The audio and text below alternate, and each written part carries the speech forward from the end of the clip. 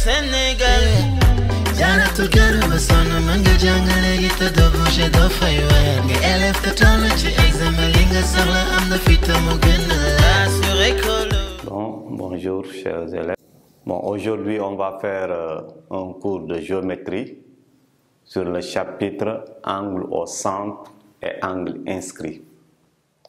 Dans ce chapitre, l'objectif visé, l'élève doit savoir reconnaître rapidement un angle au, centre et reconnaître aussi un angle inscrit. L'angle au centre, s'il le reconnaît, il doit savoir quel est l'arc qu'il intercepte, de même que l'angle inscrit, l'arc qu'il intercepte.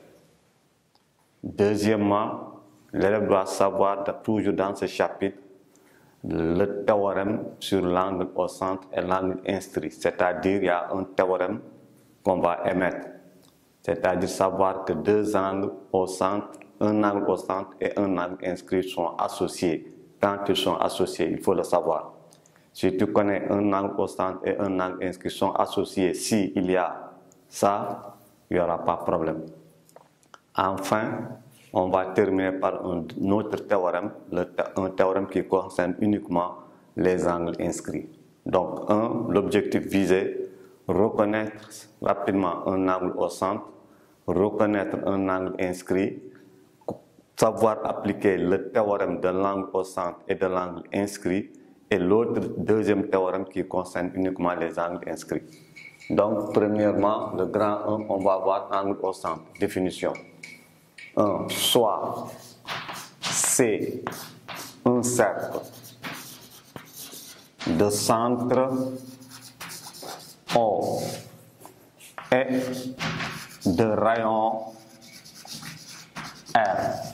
Donc, on a un cercle, soit C, un cercle de centre O et de rayon R.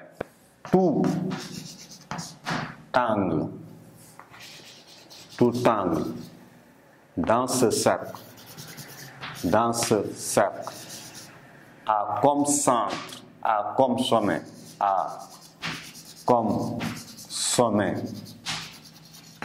le centre du cercle, le centre du cercle C est appelé, est appelé un angle au centre, est appelé un angle au centre. Donc, soit c'est un cercle de centre O et de rayon R. Tout angle dans ce cercle a comme sommet le centre du cercle C est appelé un angle au centre. Donc, ça veut dire quoi? Un angle au centre, c'est un angle dont le sommet est le centre du cercle. Tout angle qui a comme sommet le centre du cercle est appelé un angle au centre. Exemple, dans le petit 2, on va prendre un exemple.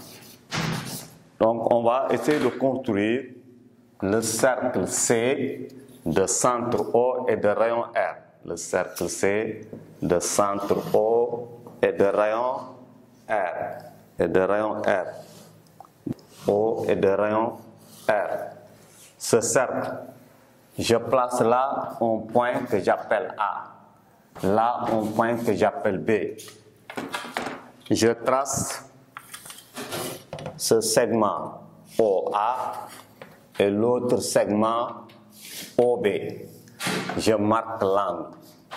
Donc, l'angle que vous voyez là, AOB, de sommet O, est appelé un angle au centre. L'arc qu'il intercepte, c'est AB. Donc, dans cette figure-là, on a un cercle C, c'est un cercle C de centre O et de rayon R. Maintenant, l'angle AOB de sommet O est appelé angle au centre. Cet angle intercepte sur ce cercle l'arc AB. Donc, ça veut dire quoi? AOB est un angle au centre. Est un angle au centre de sommet, de sommet O qui correspond avec le centre du cercle. Il intercepte, il intercepte l'arc AB. Il intercepte l'arc AB. Donc, AOB est un angle au centre, c'est un angle au centre qui intercepte l'arc AB. Donc, dans un cercle, dans un cercle, si tu connais le centre du cercle, on te donne le cercle. Maintenant, on place le point A et le point B sont situés sur le cercle C. Maintenant, l'angle défini ainsi, AOB de sommet O, qui intercepte l'arc AB, est appelé un angle au centre. Pourquoi? Parce que cet angle, le sommet O, n'est rien d'autre que le centre du, du cercle. Donc, un angle au centre est un angle dont le sommet est le centre du cercle. Et tout angle au centre situé dans le cercle va intercepter ce qu'on appelle un arc. C'est l'arc AB. Donc voilà la définition d'un angle au centre. Si je prends le grand 2, je mets angle inscrit, angle inscrit. Maintenant, sa définition, définition, définition. Maintenant, cette fois-ci, soit c'est un cercle, soit c'est un cercle, un cercle de centre O et de rayon et de rayon R. On appelle un angle inscrit, on appelle un angle, un angle inscrit, un angle inscrit, tout angle, tout angle dont deux points. Premièrement, le sommet est situé sur le cercle. Le sommet, le sommet est situé sur le cercle. Sur le cercle. Deuxièmement, les côtés, les côtés de cet angle, les côtés de cet angle sont 50, sont 50 avec le cercle C, sont 50 avec le cercle C. J'ai dit un angle inscrit. Donc, définition. C'est un cercle de centre O et de rayon R. On appelle un angle inscrit, on appelle un angle inscrit tout angle dont deux points. Tout angle dont deux points. Le sommet est situé sur le cercle C, c'est-à-dire le sommet de cet angle appartient au cercle C. Deuxième condition, les côtés de cet angle sont 50 avec le cercle C, c'est-à-dire il y a un point d'intersection entre les deux côtés de l'angle avec le cercle C. Exemple, petit 2, exemple. Bon, dans cet exemple, on va tracer un cercle C de centre O et toujours de rayon R. Le cercle C de centre O et de rayon R. Je trace le cercle C de centre O et de rayon R. Sur ce cercle, je place trois points. M, A, B. Je trace, je trace le segment MA, puis le segment MB. Et je marque cet angle-là. Cet angle que je viens de tracer intercepte l'arc AB. Maintenant, si on regarde cet angle-là, A, M, B, de sommet M, cet angle, le point M est situé sur le cercle C. Ses côtés A, sont 50 avec le cercle C. Dans ce cas, on peut dire que A, M, B est un angle inscrit. Est un angle inscrit qui intercepte l'arc AB.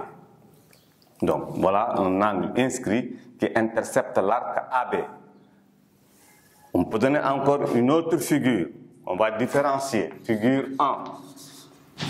Bon, là, dans cet angle inscrit, l'ouverture angulaire contient le cercle C. Ou bien, je peux tracer encore un autre cercle C de centre O. Un autre cercle C de centre O. Ce cercle C de centre O qui intercepte ce cercle C de centre O et de rayon R. Et de rayon R. Cette fois-ci, je marque là le point M. Et je trace, je trace le segment MA. Puis je trace le segment MB. MB. Cet angle qui est là, AMB, est un angle inscrit. Est un angle inscrit qui intercepte aussi l'arc A, AB. Est un angle inscrit qui intercepte l'arc AB. Là, c'est la figure 2. Quelle est la différence? Ici, on a AMB est un angle inscrit, de même que AMB est un angle inscrit. Mais cet angle inscrit, l'un de ses côtés correspond avec le diamètre du cercle. Là, dans cet angle inscrit, on a le centre du cercle qui est contenu dans le secteur angulaire. Maintenant, figure 2, deuxième figure. Je trace un autre cercle qui a comme centre O, qui a comme centre O et de rayon R, qui a comme centre O et de rayon R. Là aussi, je marque le point M, je marque là le point A et je marque là le point B. On a l'angle AMB. On a l'angle AMB. Cet angle-là, AMB, aussi c'est un angle inscrit qui intercepte l'arc AB. Ça, c'est la figure numéro 3.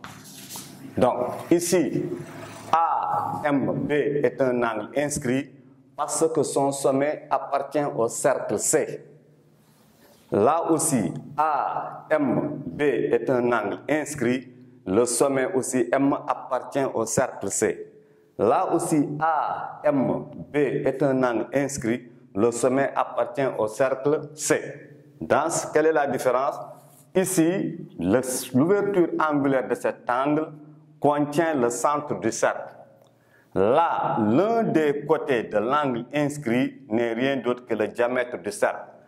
Pour cet angle inscrit, le centre du cercle se trouve à l'extérieur du secteur angulaire. Mais les trois exemples, AMB est un angle inscrit qui intercepte l'arc AB. Donc on peut dire qu'AMB est un angle inscrit qui intercepte, qui intercepte l'arc AB, qui intercepte l'arc AB, qui intercepte l'arc AB. Donc, la différence entre un angle inscrit et un angle au centre, l'angle inscrit, son sommet est situé sur le cercle. L'angle au centre, son sommet est le centre du cercle. C'est la différence fondamentale. Un angle inscrit, le sommet est sur le cercle C, comme AMB. C'est un angle inscrit. Justifie la réponse parce que le sommet M est sur le cercle. Là aussi, AMB, c'est la même chose. Le sommet est situé sur le cercle. Tous les trois angles sont des angles inscrits qui interceptent l'arc AB. Sénégal